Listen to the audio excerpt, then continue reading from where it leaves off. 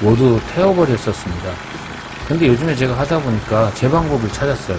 이렇게 철사를 구부려 가지고 연료통 안에 연료 공급 호스를 연료통 밖으로 빼내고 시동을 유지하고 있으면 연료 호스하고 카브레타에 남아있는 휘발유를 모두 태우고 한 1분에서 2분 정도 지나면 시동이 꺼집니다.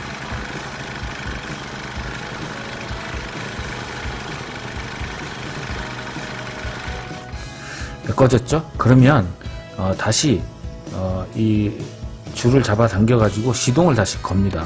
어, 조금이라도 남아 있는 연료를 인위적으로 태워